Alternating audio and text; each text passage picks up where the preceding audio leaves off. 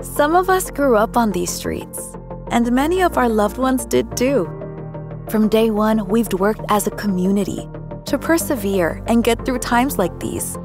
Eso es lo que hacemos. It's what we do best. The road to recovery is right at our feet, and we'll be right here, here, and here for all.